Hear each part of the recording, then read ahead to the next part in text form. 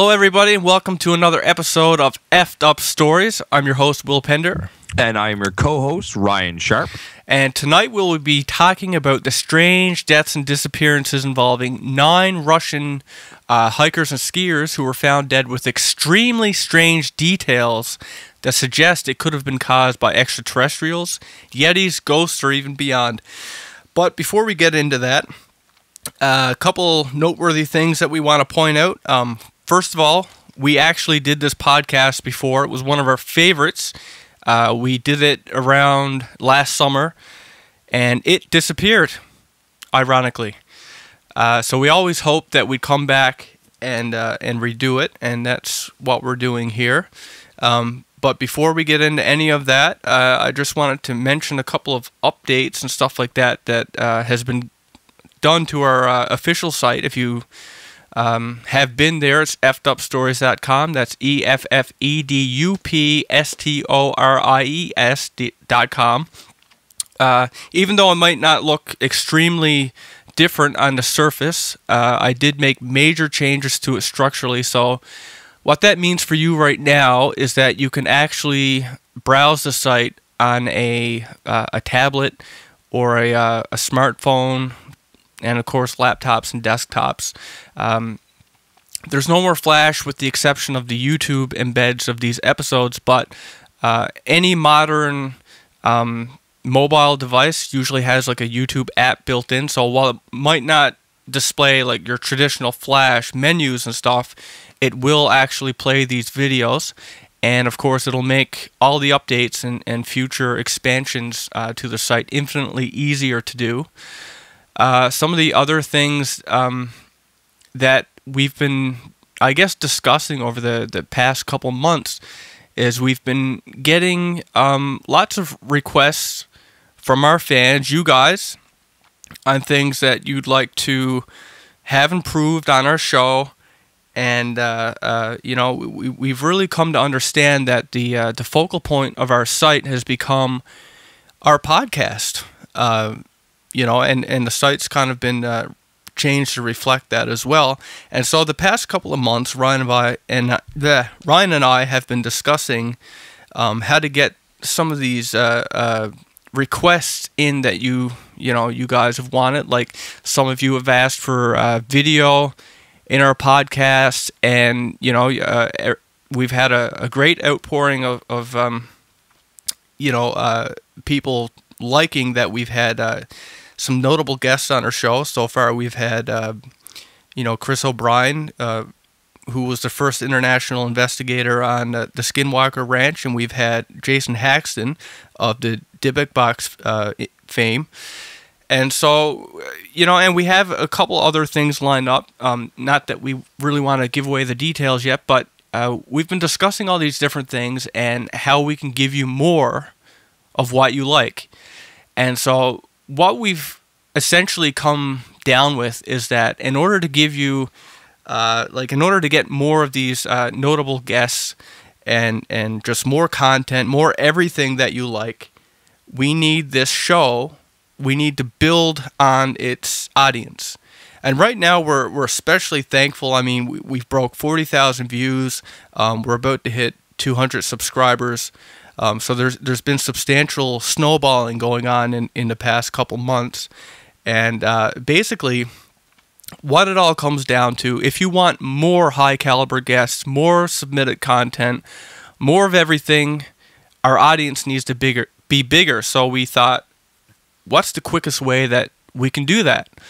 And the quickest way that we can do that is to advertise and promote our videos um, specifically to our target audience, which we know who you are, thanks to the analytical information. Um, so here, here's our dilemma. You know, we're we're two guys. I mean, we don't mind doing the work. We, uh, you know, and investing our, our own money. Ryan went out and spent like I, I think it was at least three hundred dollars or more on a, a new microphone to improve his audio quality on the podcast. And I myself will be dropping another $150 on the, the web hosting, um, well, right after Christmas. Uh, so there's only so much that we can do in that regards. If you guys want to help us out, I've set up a donation form on the official website. It's just uh, if you go to our official website at effedupstories.com, that's E F F E D U P S T O R I E S.com. You scroll down a little bit, and on the right side, you'll see a little button that says donate. It'll take you to PayPal, which I'm sure you've heard of before. It's a safe and secure way to, uh, you know, have online transactions. And whether you want to donate 50 cents, 10 cents, $10, it, it really doesn't matter. All the money that gets donated will be funneled back into our podcast in one shape or another. And so, really, the the ball is in your court, people. I mean, we don't mind doing the work, but we, you know, like most people, we're limited on funds. So, if you want to see us really take this to the next level, come out and help us do it. Uh, other ways that you can help if you don't want to donate is just to, you know, if you're not subscribed to our channel, subscribe. Uh, you know, spread the word. Tell your friends, your family to subscribe. Anywhere you frequent on the internet, whether it's forums or blogs, you know, drop our name, drop links to our videos. Uh, uh, you know, embed our videos. You know, just spread it everywhere because the more people that you know comes on, the bigger our audience is, the more likely that interesting guests will want to be on our show. The more stuff we'll get. In the end, is the more stuff we'll be able to give to you. And for those of you who have already been doing this, subscribing, dropping comments, sending us emails, fantastic. Thank you very much. Uh, I mean, our our audience is the only reason why we do this. If if people weren't interested, um, you know, we wouldn't bother. Uh, and your your comments and your support, uh, your subscriptions and your views are all very very much appreciated. And uh, with that said, let's let's get to the uh, the meat of this episode. So what we're talking about is the what is it? The diet Dyatlov Pass incident. Now I, am going to apologize up front that I'm going to pronounce a lot of stuff wrong because it comes over from Russian. Um, I believe they. I believe the because uh, I actually looked up the pronunciation of it, and I think it's pronounced Ditlov. Ditlov. Okay, so it's the yeah. Ditlov Pass incident, and of course, uh, you know what it consists of. We're talking about nine very experienced skiers and hikers that you know ex- extremely suspicious and and just off the wall crazy uh, disappearances and findings regarding these people.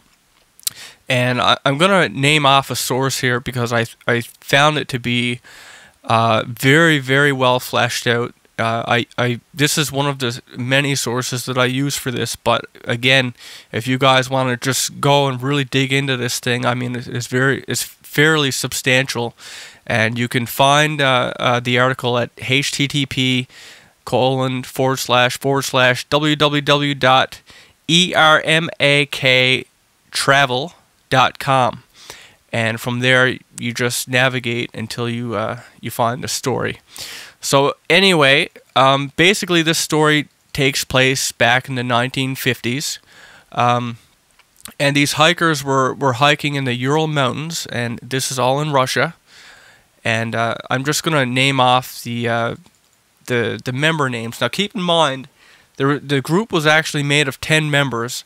Um, one of them didn't go on this trip, and we'll get to that in a second. But uh, first, we have Igor uh, Alesk- uh, Aleskievich Ditloff. Is that is that right, Ryan? Do you have your notes there? I most certainly do. I, I uh, think you should pronounce these because I don't think I can do it.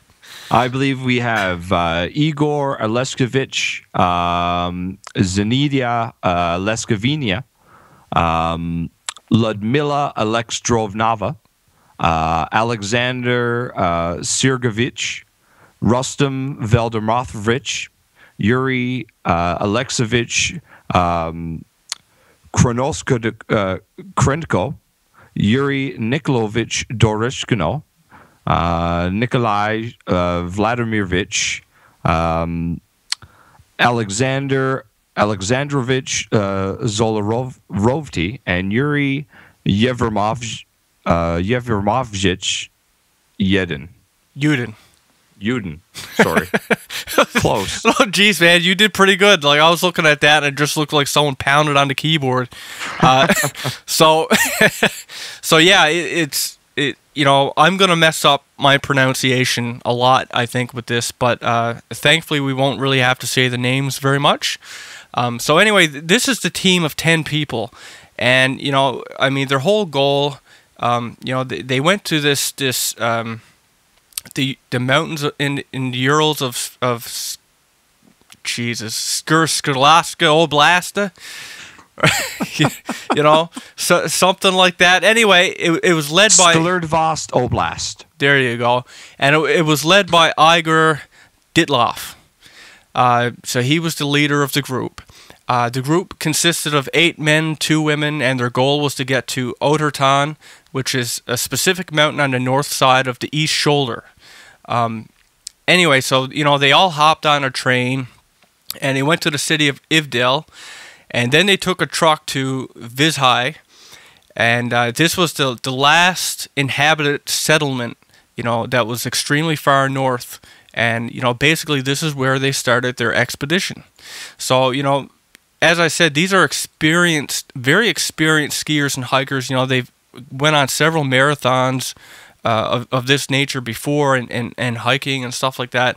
So, you know, um, they were very qualified uh, to make this trip. So anyway, they, they started this expedition on January 27th as a group of 10. But the lucky, lucky man, Yuri Yudin, uh, he got sick, and so he had to go back. So from that point on, we have the infamous nine that went onwards, and uh, our lucky survivor was uh, Yuri Yudin. So I'm pretty sure he's pretty glad he uh, he got sick. So you know, keep in mind that uh, there wasn't really any live witnesses to say what happened. There's a couple of witnesses for a certain thing that we'll get to near the end, but you know, the remainder of this story is is what was made up of. Um, you know, basically, when search groups went out, they found the group's diaries, and they found uh, cameras, and uh, uh, you know, they, of course, they, they spoke to Yuri Yudin after the fact. So But I don't. I don't believe there was any. Uh, I don't think there was anything useful in the diaries. I, I think most of the story is is is constructed uh, from what they or- found. Yeah, just the the the just let the that bizarre crime scene, uh, um, you know, speak to them. And uh, boy, that did it have volumes. Yeah, so yeah, we'll, we'll save that for last, just to say that it, it, I think it, it's the highlight of this this whole thing. The whole thing turns on its head when we get to that point. So you know, it, it, it's the 31st of January when the group finally reaches the highland area and they start climbing. You know, and once they get up there, you know, they reach a wooded valley. And they, they prepare a station with supplies for their trip back. You know, it, it consisted of food, equipment, and uh, you know these kinds of things.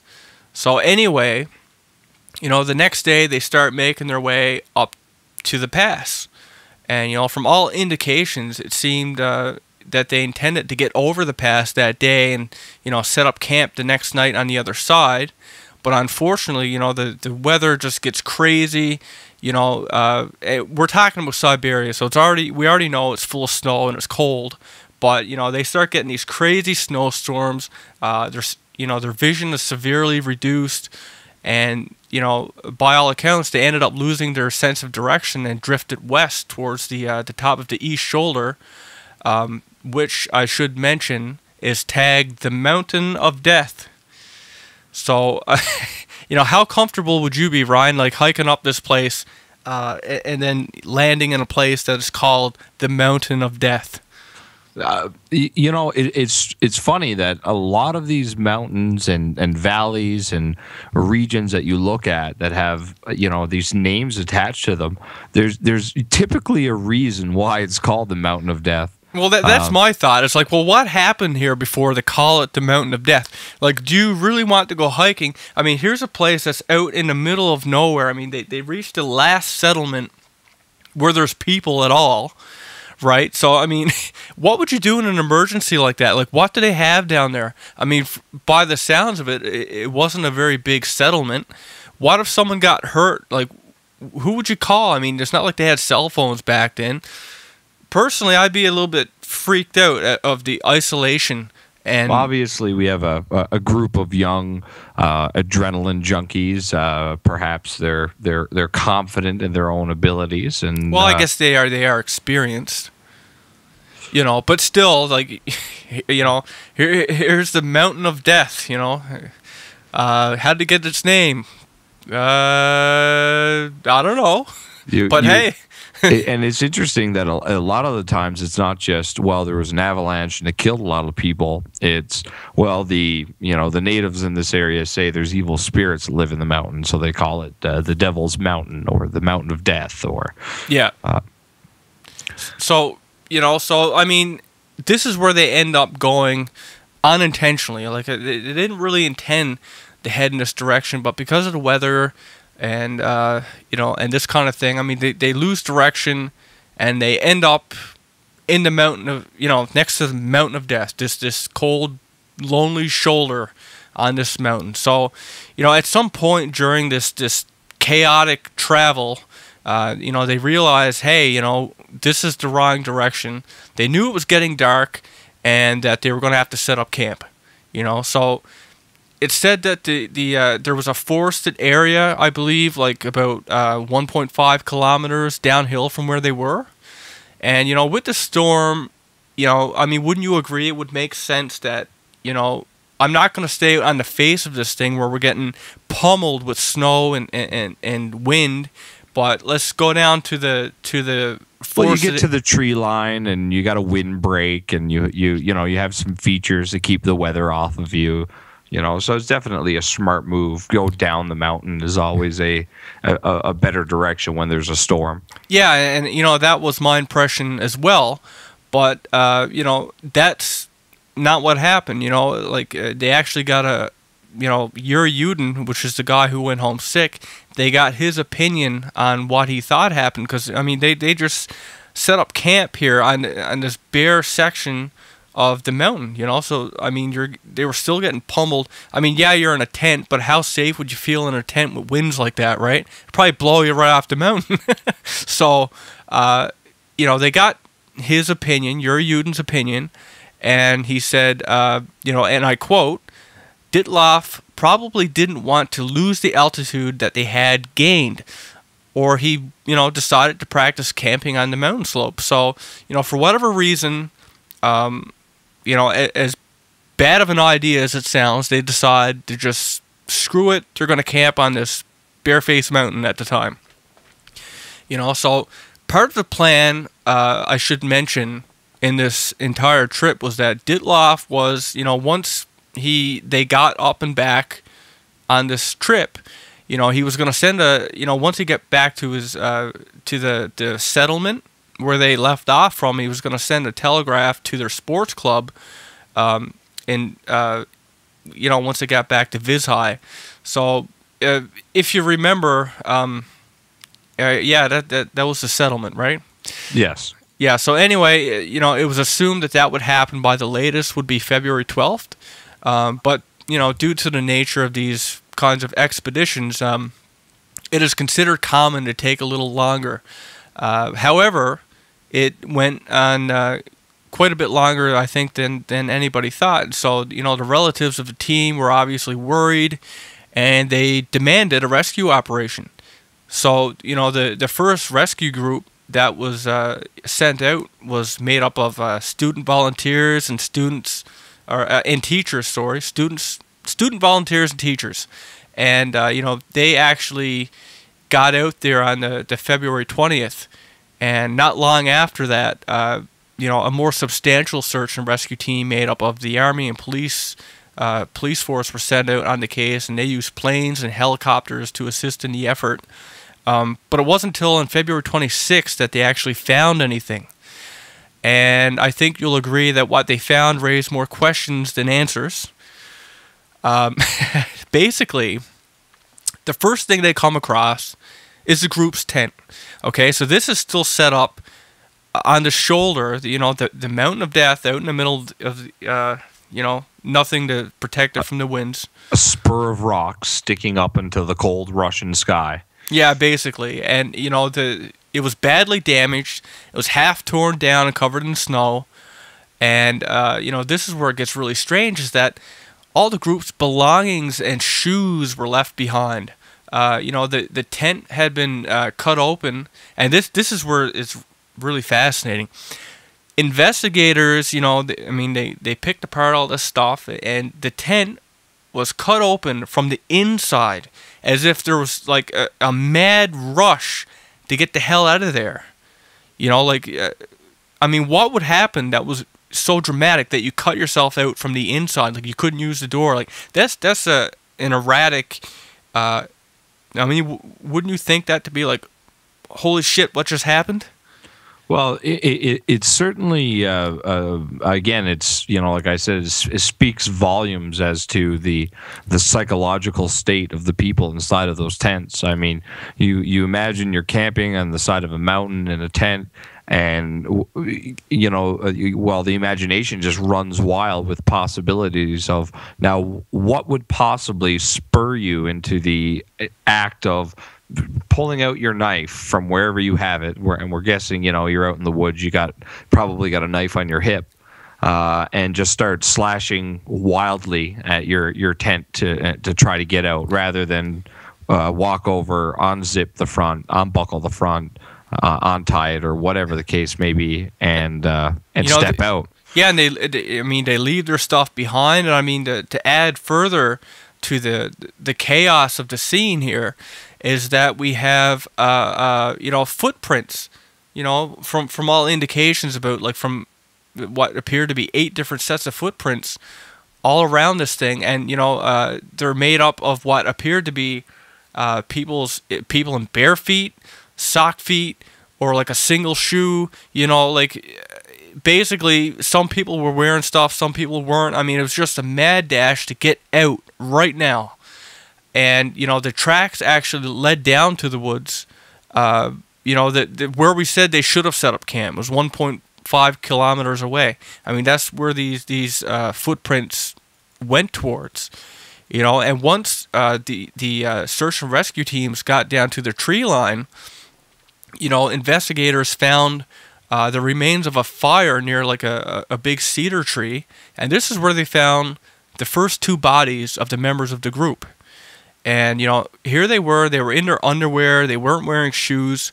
Um, you know, all things uh, considered, it's hard to imagine uh, they were the ones that even had the fire. Uh, you know, if in fact they showed up there with nothing on, but I, I don't think that's what happened. um, it also appears if like uh, one of the two of the uh, the people that were found there uh, had climbed uh, one of the trees next to them, uh, perhaps the the, uh, the big cedar, because you know it was noted that the branches had been cracked off up to five meters high, and there was uh, blood and, and stuff like that found in the um, in the bark and and some of the branches and stuff like that. And it, it led you know investigators to speculate that maybe they were trying to get some kind of a viewpoint or or something, you know, uh, from you know higher up on the tree or something like that. So I mean, uh, I it guess certainly paints a uh, a desperate picture. Um, you know, a few uh, uh, almost naked men huddled next to a fire beneath a a uh, a, a, a, tall tree on the side of a mountain. Um, you know, yeah, again, it, it's like what no, were they running from? Right? Exactly. Like, I, I exactly. mean, what what happened? That I mean, you know, in, in Siberia. I mean, come on, it's, it's freezing, and you're gonna leave all your stuff behind. You, I mean, you got to be desperate just to leave that behind and run out in the snow like that. I, I mean, what possibly could have spooked them? Uh, to do this, so I mean, this is the first two bodies they find, and uh, you know the the you know they the first body, of course, was uh, Yuri Dorsh, and uh, anyway, uh, these are from the medical autopsy notes. Okay, so uh, the autopsy on this person, uh, you know, and, and these are in jot note form. Uh, the ear and the nose and lips are covered by blood. the right armpit has a bruise about 2 centimeters by 1.5. Inner surface of the right shoulder has two abrasions, 2 centimeters by 1.5 centimeters, with no bleeding in the tissues uh, and two cuts on the skin. The upper third of uh, right forearm brown, uh, red bruises with size 4 by 1 centimeter, 2.5 by 1.5 centimeter, and 5.5 centimeters. Uh, fingers on both hands have torn skin. Bruises, uh, bruised skin in the upper third of both legs. Uh, signs of frostbite on face and ears. On the right cheek, foamy gray fluid discharges from the mouth. Um, you know, from all indications, though, I mean, the, the cause of death was said to be hypothermia, and that does make sense. But it also indicates that there was a struggle, right? I mean, we we have all these bruises and, and, and you know stuff like that. I mean, there there was some, again, like it, it just paints the picture again with, uh, you know, it, it goes hand in hand with the, the the chaos that must have ensued from the tent. Uh, and the next body that was there with that one was uh, George Yuri Krivonchenko. Um, in any case, uh, you know, he had bruises on his forehead, uh, bruises around his left temporal bone, uh, diffuse bleeding in the right temporal and occipital region due to damage to temporalis muscle. Uh, the tip of his nose was missing. Uh, frostbitten ears, uh, bruises on the right side of the chest, uh, bruises on the hand, detachment of the epidermis on the back of his left hand at the width of 2 centimeters. Uh, a portion of the epidermis from the right hand is found in the mouth of the deceased. Now that's interesting, isn't it? Uh, some some of his own uh, uh, skin was found in his own mouth. no, his it, hand. It, it, yeah, yeah, yeah.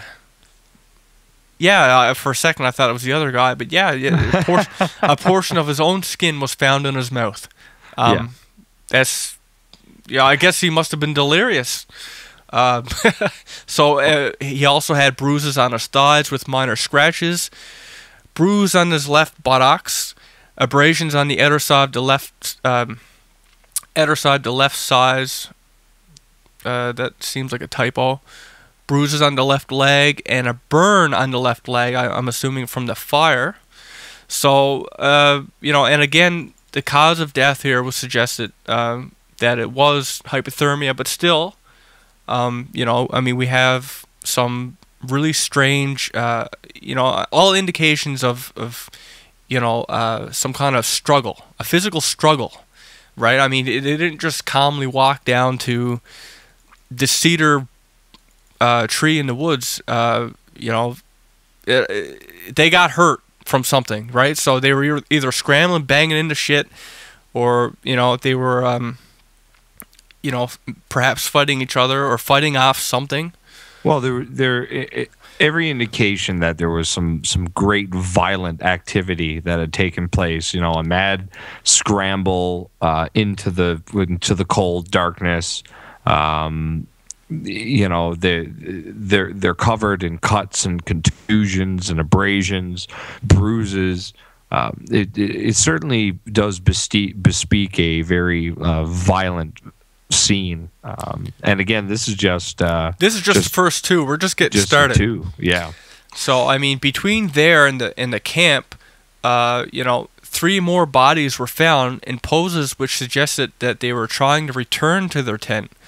And of course, we have the autopsy reports for those two. So uh, first we have Zaneta Kolmogorova Zanata. No, sorry, Zaneta Kolmogorova. Uh, anyway, she she was much uh, better dressed than the uh, the other ones. Um, and what you'll find from here on out is that, you know, many of these, uh, uh, the, the rest of these bodies were found to be wearing clothes which belonged to the, the, the other further back members, which um, you know suggests to me and and others that you know either they took them after they died, you know, which you would do. I mean, if you're freezing out there and you know, uh, you or, know, or at least and, uh, once they went unconscious. Yeah, you know, so I mean, they they took this uh, to survive, um, but I mean, considering the the bruises and stuff, one has to wonder if they they, they got into a fight of fisticuffs uh, to ensure their survivals. You know, like to to get their uh, their clothes or whatever. Um, so, anyways, you know, this one is, is fairly uh, um, dressed well, but she had uh, you know frostbites on the phalanges of the fingers, numerous bruises on the hands and palms, uh, a long bruise that encircled her on the right side. Um, and you know they again we have a, a case of, of hypothermia. Um, so so far, I mean, it, it's sounding pretty typical for what you'd expect uh, out in the uh, you know for someone to to like what you're you're what you died of. I guess we'll say it makes sense that yeah you died of hypothermia out in this place. Um, so I mean, after that we have the uh, the group leader Igor Dyatlov. Uh, he was the next one found, and uh, you know, his head was bare. Um, you know, he you know he still had like a, a, a fur coat, although it was said to be unbuttoned. Long sleeve shirt, ski pants over his pants. Um, his footwear was absent though, so you know, I don't know if if someone took it or you know he was one of the ones that just ran off out of there barefoot. Um, he had uh, uh, you know, minor abrasions on his forehead, abrasions above the left eyebrow of brown red color, brown red abrasions on both cheeks, and dried uh, blood on his lips. Um, his lower jaw had a missing incisor. The mucosa was intact. That suggested the tooth was uh, lost long before the final trip. So, you know, damage already done. On the lower third of his right forearm and palm surface, many skull, uh, small scratches of red of dark red colorization. Metacar. Jeez, how do you pronounce that? Are you looking at this? Can you pronounce that for me? Oh, geez. Uh, metacarpal. Uh, the papillolangual. yeah, this is this is what doctors do in university. Metacarpal phalangeal. anyway, uh, whatever the word is, uh, the joints on his right hand um, had brown red bruises. Uh, this is a common injury in hand to hand fights. Again, going with uh, signs of a struggle. You know, uh, perhaps to get clothes or something like that. Um, you know, to get a better idea of the injuries, you know, just make a fist is what is suggested here. Um, this is part of the hand that you use to hit somebody. So I'm thinking knuckles, personally, if it's something that you use to hit someone with, but who knows? Um, he had brownish purple bruises on the left hand and also superficial uh, wounds on the second and fifth finger, bruised knees without bleeding into the underlying tissues. On the lower third of the right leg, bruising, and uh, both ankles had abrasions, uh, bright red, and uh, hemorrhage lying into the underlying tissue. Um, so, you know, again, uh, it suggested that uh, you know uh, Dyatlov had died from hypothermia. And we have one more case here of, of the first five, and this is uh, Rustam Slobodin. Uh, you know, Rustin, uh, uh, uh, he had one boot on one his right leg, I believe. he also had minor brownish red abrasions on his forehead, uh, two scratches, brownish red bruise on his upper eyelid of the right eye with hemorrhage into the underlying tissues, traces of blood discharged from the nose, swollen lips, swelling, and a lot of small abrasions of irregular shape on the right half of his face. Uh, so again, you know, uh, uh, in in this case, I mean, we're looking at um, uh, the cause of death still ended up being, you know, a, a, a Screw my loss of thought. Hypothermia. Hypothermia. You know, he. Oh yeah, and he had his epider, uh, epidermis torn from his right forearm, which is interesting. Uh, but yeah, you know, uh, and and interestingly enough, he had bruises on those same hand muscles that go with uh, hand-to-hand combat, uh, which almost asks, you know, asks the question whether or not him and Dyatlov had, had gotten to a, a fight, basically. Well, it's a common injury for I think the last two knuckles, your pinky knuckle and your your ring finger, I guess they call it.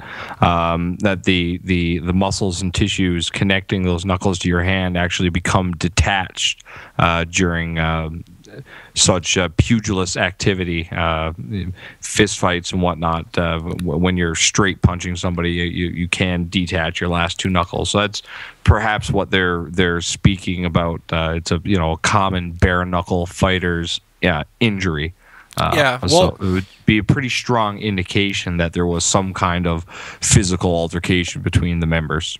Yeah, like it, it suggests to me that uh, you know perhaps they were they were fighting over clothing, or maybe uh, you know the the other guy was just really mad at Dit- Dyatlov for getting them. You know, maybe he never wanted to. You know, camping on that face of the mountain wasn't a bright idea. Maybe it was his idea, as uh, Yuri Yudin had suggested, and you know, the other guy could have been like, you know, this is all your fault, kind of thing. Um, but anyway, we're, we're we're going on to the last four now, and this is our you know by far the strangest four of the of the whole tale. It really turns the whole story on its head. Because up um, until this point, um, they were pretty pretty sure that it was it was rather relatively mundane. That perhaps it was a, a, a small avalanche that caught them unawares. Um, you know, basically, like I mean, up to this point, the only thing that we had that's strange is uh, the means by which, you know, it appeared that they had scrambled out of their tent and left their stuff behind. You know, half dressed, cutting the tent from the inside out. So we have a, a like a trigger, something that caused them to take off out of the tent. That's the only thing suspicious right now, because their causes of death are not suspicious yet, right? Yeah. So so we have the, the remaining four bodies now, and I mean these bodies took two months to find, uh, but they easily had the strangest implications to attach to them, right?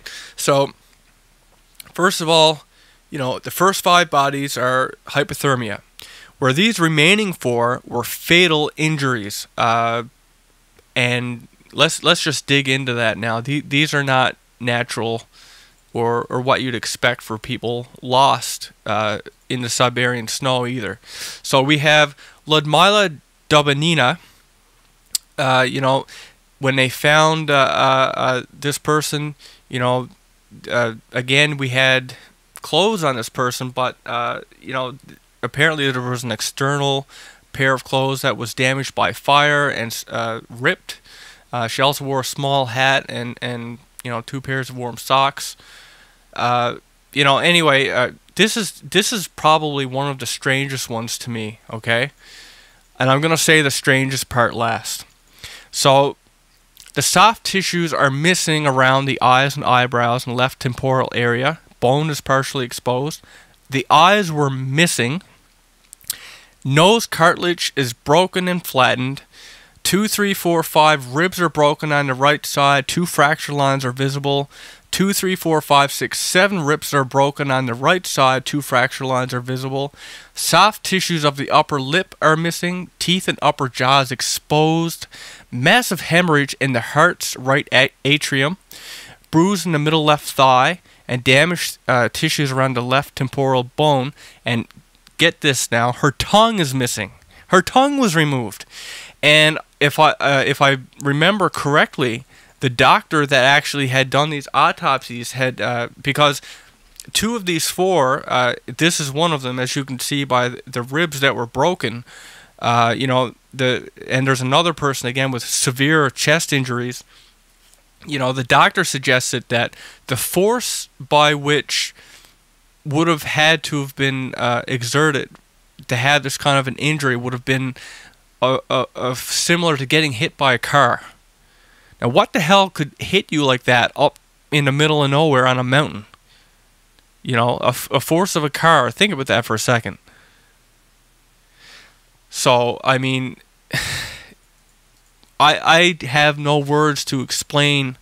Uh, you know what? What? Well, basically, you have somebody who's who's experienced some severe physical trauma uh, you know, trauma that, that we typically associate with uh, high speed mechanical uh, uh, trauma that is typically not seen in nature. Um, you know, uh, unless a, a, rock had tumbled down and, and, and crashed into her. But again, there was uh, never any indication of anything like that. Um, No, and like, and I mean, you'll get conflicting reports. I mean, these are the autopsy reports, but you know, in a couple of the other sources I found, I mean, as you can see, like her eyes were missing and and some tissues and stuff like that. But there are other uh, sources I've read, and you know, I, I don't know if maybe they were re- referring to only the chest area, uh, but you know, for at least these sources said that you know there was no uh, exposed uh, uh, blood or, or, or, or, open incisions, um, you know, so and and that like it's just like she was crushed inside only.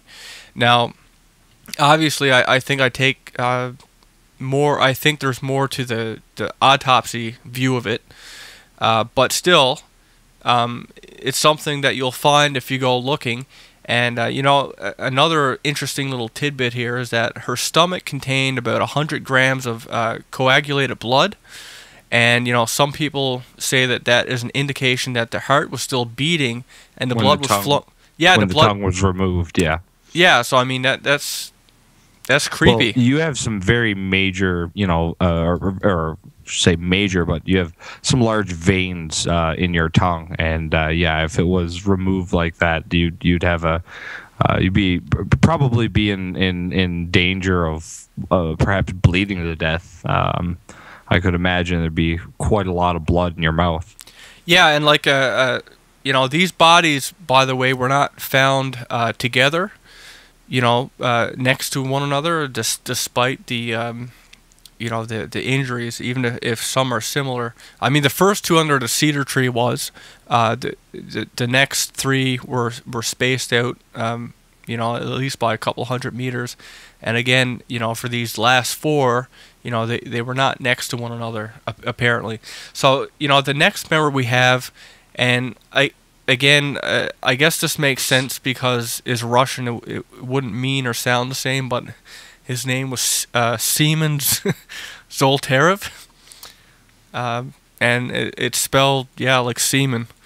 But anyway, uh, you know, he was found and he, he was dressed uh, apparently, like I mean, for all intents and purposes, he should have been warm. You know, uh, and uh, he had uh, four cameras, I, I believe, um, found around his uh, uh, tent or whatever. but um, anyway, interestingly enough, again with this guy, I mean, his eyeballs are missing. he was missing soft tissues around the left eye. Uh, and and this is the other the other member that had the uh, the chest injuries, uh, uh, you know, comparable to getting hit by a car. He had a flail chest uh, broken, two, three, four, five, and six ribs on the right side, two fracture lines, uh, open wound on the right side with bone exposed. Um, you know, and like, if you look on the internet, I mean, there's actually pictures of this too, right? I mean, it's pretty creepy looking. Um, and you know, something I just want to point out you know, with with these missing eyeballs and like a missing tongue and stuff like that, is that this stuff, you know, sounds more like what you you get with cattle mutilations, right? I mean, it doesn't sound like something that happens to people. Uh, you, do you know what I mean? And, and again, this theory will make more sense when we get to the uh, the end of this. Well, you know, and and that you point out. Um, uh, and I came across this myself that several sources state that um, you know, oh well, uh, the the tongue and and parts of the lower jaw were were were missing, um, and that was a, a result of decomposition. Um, you know, but we're talking about a, a pretty pretty frozen area. Uh, you, you, know, you're not looking at normal uh, decomposition. No, you're uh, looking and, at like mummified. It's like it's like sticking a steak in the fridge. Yeah, right. And and, and you, you you get a more more freeze dry action happening. Uh, there, you know, there's and and and nowhere in any of the autopsy reports did you know did it talk about advanced decay. No. Um, you know, and, and that's that's what some of the sources report. I don't know where they're getting it from, but from you know these autopsy reports I'm looking at, there there's nowhere it, it doesn't say uh, you know advanced decay, and in fact the you know like you stated earlier, uh, at least some of these injuries uh, seem to have been uh, uh, you know pre-mortem injuries. Uh, injuries sustained while the subject was still alive. Yeah, and like, and that's why I used these, uh, uh, you know, the autopsy reports as a source because it's a hell of a lot more detailed than what you find with most stuff if you go looking for answers. Uh, a lot of it is very summarized and, um, you know, just just you know, here's a summarized version, and the details kind of differ. But I mean, this is again a lot more detailed, and uh, you know, if, if, these are in fact the real autopsy reports, then I, I think you can read these and kind of draw your own conclusions to some extent, right? So uh, moving on now to the third of the the remaining four uh, members to be found is uh, Alexander kolotov and uh, he had uh, a lack of soft tissues around his eyes. Eyebrows again are missing. Uh, skull bones are exposed. He had a broken nose, open wound behind ear, and a deformed neck, which is interesting. Uh, and then we move on to the uh, the last uh, member of the team, Nikolay uh, Thibeaux Brig- Brignol. Um, this person had multiple fractures to the temporal bone with extensions uh, to the frontal and sphenoid bones. Uh, the close up of the fractures to the skull is uh, shown on a diagram I'm looking at here. And of course, you can't see that, but uh, it's interesting nonetheless. Perhaps we'll post up on the site if we can. Yeah, if we can. If we can get permission. Put yeah. a link up there. Yeah, well, certainly you can check out that link that I mentioned earlier. It has all the pictures there. Uh, you know, there's a, a bruise on the upper light, uh, upper lip on the left side, and hemorrhage in the lower forearm.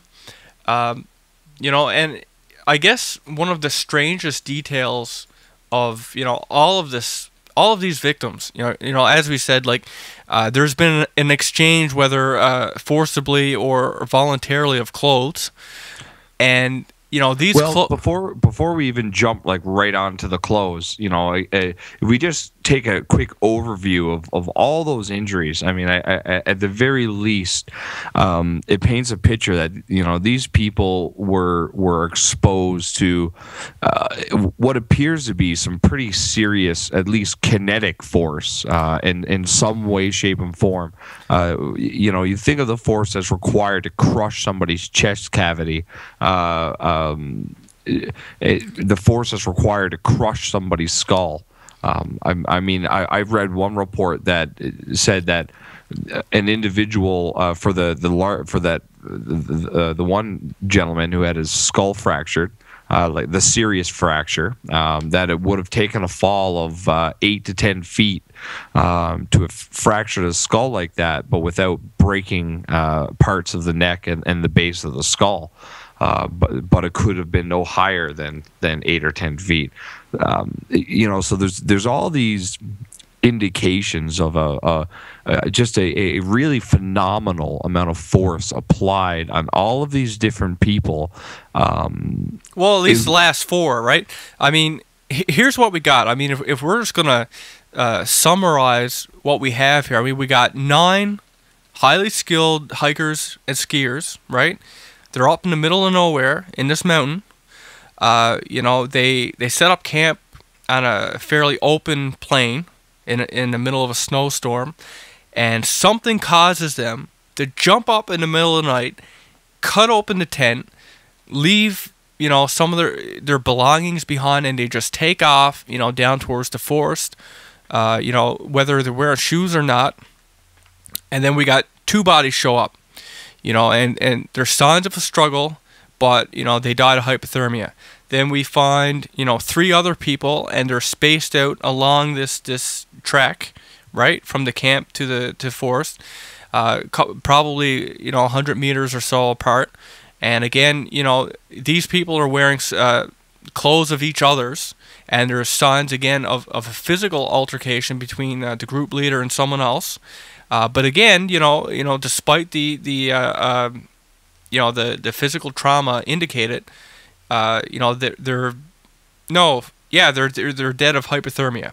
Yes. And then we get to the remaining four, right? And these these ones are found much later, uh, farther away, and you know what we have here is truly bizarre. We have, you know, two people with their chest cavities completely caved in by a force, uh, you know, that would it would take a car to do in a place where no car could be, and we have one person with a fractured skull, like as as you said, would take an extreme amount of force to do the damage that was done, and we have you know one uh, one of the members missing her tongue for God's sakes. We, we, you know two people or three people are missing their eyeballs. Uh, you know again like all looking like cattle mutilations. Um, in retrospect, I mean, you know, by the way that that they're uh, they're cut, I mean, they're they're in a place that's freezing. It's like sticking a steak in a freezer. So decomp- uh, decomposition, for all intents and purposes, uh, wouldn't react the same. You know, I mean, it's frozen right? It's not going to break down quite the same. In fact, I would think they would stay quite preserved, you know, even for those two months. Um, you know, and, and I guess, uh, so I mean, this is what we're looking at now. I mean, it's just the middle of the blue. There's something terrifying, and I can only assume that whatever terrified them to leave is what attacked them, right? Whatever, whatever it was. Uh, I mean, that's what I'm left to assume, right? And and if that's the case, then uh, what the, the, hell is it? well, then then the the little piece of evidence that we we find embedded in all their clothing. Um, you know, uh, adds uh, would, would, would makes it even more mysterious. Uh, you know, because uh, you know once the clothes was all taken and and and studied and looked at, it you know it was found to have been irradiated. It it, it had radiation embedded in the fabric. Yes, uh, high levels. This, high levels of radiation. This was across. This is pretty much uh, uh all of the clothing, if I do remember correctly. Yeah, and and uh, interesting enough, uh, there was a young boy who went to uh, five of the victims' funerals. So I'm supposed uh, he was related to some or, or knew the others or whatever. And you know he noted that uh, you know all of their skin had this deep brown tan uh, that again was indicative of you know radiation exposure. Um, and I, you know to, to reinforce the you know because I mean the first thing I I guess us conspiracy nuts think of when we're hearing radiation like that, and especially with with just the way that th- this whole thing unfolded, it was like you know UFO or extraterrestrial, right? I mean, they're the ones who we look to with the cattle mutilations, right? And here we have people who are uh, mutilated in a similar fashion, uh, you know, and they have radiation, which again uh, has been noted to show up in, in abduction cases and uh, sites where UFOs have been spotted. So crop circles and uh, and even in in particular uh, mutilation sites. Yeah, uh, magnetic and radioactive anomalies. And you know, and and you know, to reinforce this whole thing, you know, apparently, uh, you know, there was these hikers about 32 miles away who had claimed that they seen these bright orange spheres of light in the sky right around, you know, where this incident took place. Uh, you know, so we have the, these clothes that are exposed to radiation. You know, their their skin uh, has a look on it as if it's been exposed to radiation, and we have these lights that you know people have seen. Uh, you know, around the area, which again, you know, were strange and, you know, similar to what you hear of uh, with UFO sightings and stuff like that. So I mean, all these things to me, uh, you know that that's kind of where I, you know, I mean that's the angle that I would lean in. Yeah, because they did. Uh, uh, uh investigators did find a group of uh, hikers who were also on this the same mountain in a different area. Yeah, that, that's um, that's the that, ones I was just talking yeah, about. and they exactly, and they they they were the ones who reported seeing uh, lights in the sky. I, I also uh, read a report um, from one of the surviving uh, uh initial investigators. Oh, Yuri Yudin. Oh no, uh, sorry, sorry. That's the the. Or Yuri Yudin was one uh, the guy who who was part of the group but went back sick. Yeah, uh, this was one of the the uh, uh, one of the first responder uh, uh, rescuers, or you know, uh, search and rescuers. Anyways, wasn't much of a rescue going on, um, but he claimed that that their their group had witnessed lights in the sky over the mountain themselves. Uh, now, this apparently wasn't for uh, uh, uh for year, you know years after uh, everything happened.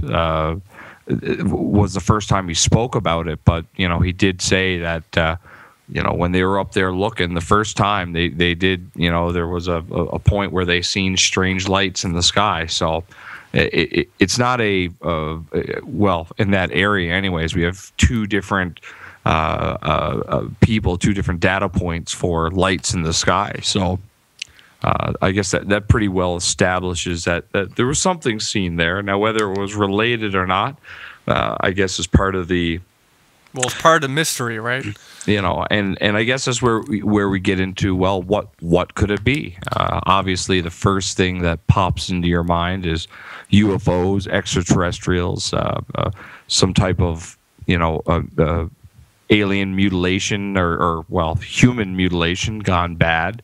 Yeah, well, uh, like you know, to me, I mean, the most of most of the evidence would suggest you know something extraterrestrial related to me but there are other uh, uh, you know i mean there's multiple you know very different uh, theories that have have uh, been spoken about um, i mean one of these was that you know these people were unknowingly victims of a secret military experiment uh, in fact, uh, Yuri Yudin, uh, the one survivor who, uh, who of course didn't go on the trip, uh, you know, he claims to have, uh, you know, seen a torn piece of fabric that resembled like a soldier's coat and a pair of glasses and skis. You know, because he he was up there looking over like the the stuff that were found by the investigators. And you know, so this fabric and glasses and skis were among the collected remains, and he claims that you know they weren't, you know, uh, belonging to any of his team members. And the fabric, you know, again, it looked like a soldier's coat. And uh, he also claims that he's seen documents that indicated that the investigation had actually begun two weeks before the campus uh, official discovery, um, which, you know, basically all, all things said, it indicates that the military had actually been up there before the, the first search team, which was the, the volunteering students and teachers, went up there. And, so, and ever found the, the tent uh, or any of the bodies or anything like that. Yeah, and, and, and Yuri even said that, you know, like, uh, and this was a quote, that there were special boxes with their organs sent for examination, but, you know, this was uh, not noted in any of the papers that were released. So, I mean, uh, that makes me think of two things. I mean, yeah, you can look at it and say, uh, you know, the military was up there and, you know, it's a military experiment, but personally, it would almost make more sense to me that if the military was up there, perhaps it was because you know they knew of these lights or or extraterrestrial you know activity because the military has been known to go and uh, you know check check these things out when they happen, right? Uh, so perhaps well, you know, and there there there was also the theory that uh, they, you know, I had the the, the group had stumbled across uh, some some secret testing of a military weapon, and uh, you know, the one weapon that kept uh, coming up was was the um, people theorized that it was actually a, a, a thermobaric uh, uh, weapon that was being detonated. Uh, you know, thermobaric explosion is well, it's a it, it, it's unlike most other uh, uh, bombs. It's it's designed to uh, incinerate a a very large sphere of air, um, consume all the oxygen, and when what's left behind is a vacuum. Uh, so after the the the conflagration and explosion, a massive pressure wave that's the key factors. The, the only reason I really looked at thermobaric uh, ex- explosions is because they would actually explain a lot of the The fractures uh, and fractures and contusions. But one thing that uh, wasn't noted, because I looked specifically uh, through all the autopsies, that one thing that if it was a thermobaric explosion that you would have seen uh, would basically their their their in, uh, their inner or, uh, ear bones and their eardrums and everything would have been destroyed. Um, and not to mention that you know if you're if you're any bit close to a thermobaric uh, explosion, it will it, it, it, could possibly pull the lungs right out of your mouth because uh, it creates a vacuum and suffocates you. so I mean, uh, uh, uh, all that considered, I mean, would they have even been able? I mean, if one of these things went off, I mean, uh, I'm just thinking like I mean they they took off out of their tent uh, so I mean, something would have to scare them out. If they were in the first explosion, while they're in their tent, they probably would have been dead already. Uh, you know, like, do you get what I'm saying? Like, uh, uh, oh yeah. Well, the the very nature of a thermobaric explosion is depending on how close you are to it. You could be far away enough from it that you don't actually experience the fireball uh, but the pressure wave, and then after the pressure wave, there's a uh, uh, the reverse of that. Uh, that you get hit with a pressure wave, and then uh, then there's a vacuum that that that follows it, and it, it literally sucks all the air uh, out of your lungs if you're you're you know within the kill zone, and if you're right on the edge of the conflagration slash kill zone, uh, you know, it, it, could possibly uh, pull some of your insides out with the violence of the the vacuum. And I guess some of the theories was that the the such a vacuum. Um, would have or could have possibly yanked these people, you know, out of their tents and through the tents and scattered them down the hillside and all manner of, you know. but looking at the autopsy reports and and specifically the the eardrums, that's the that's the the, the that's the kicker. You, you would you would see their eardrums would have been blown out by the pressure waves at the very least. Yeah, uh, and I mean, like that, that's the first to go and there was other uh, theories that perhaps the uh, the military had used um, sound weapons in that you know I mean certain frequencies infrasound are, yeah. Yeah certain frequencies are known to uh, cause panic and anxiety and and otherwise cause you to do things that you wouldn't otherwise do. And um, the Russian government is actually uh, uh, very well known for using uh, ELFs, uh, extra low frequencies, and uh, um, well, there's ELFs and uh, there's there's extra low frequencies and uh, v, uh, VLFs, very low frequencies or something like that. Uh, but the, yeah, they they used what is it uh, covered under the term infrasound to uh, you know disturb the the internal chemistry of people's brains. Uh, I guess the the the in terms of the Russians playing around with this. Uh, one of the most famous cases was apparently they pointed uh, one of these dishes at a uh, uh, American embassy in Russia, um, and over the next several weeks, they had you know. Half of their staff go off on stress leave, you know, and and and this kind of thing, leave the country. so it turned out that it was a great success, um, apparently. well, I mean, uh, uh, even even all that being said, like uh, that only really would, would take into account like the, the scattering, you know, in the beginning of when they they took off outside of their tent. Um, you know, and there are a couple other theories, but you know these have considerably less uh, substantiated evidence. Actually, there there's really nothing. It's just complete um, speculation. But like there's um, you know, there's the the idea that it, an avalanche somehow caused it, but it, it, just, you know, I've never heard of an avalanche ripping someone's tongue out or their eyeballs. Um, you know, and the other th- is that uh, a Siberian Yeti, um, which is known to the locals over there as the Almas, had scared the group, you know, scrambling them up and out of their tent in the middle of the night.